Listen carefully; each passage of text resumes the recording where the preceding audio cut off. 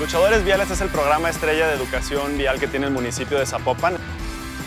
Y a través de las acciones en espacio público, las intervenciones en cruceros,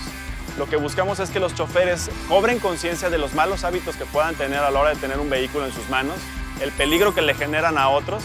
y los hábitos positivos y correctos que deberían tener. Estar siempre atentos al volante, no estar distraídos utilizando el celular, traer su cinturón de seguridad, no ir realizando ninguna otra actividad que no sea la de conducir el vehículo y darle siempre el paso y la prioridad a las personas por encima de los medios motorizados.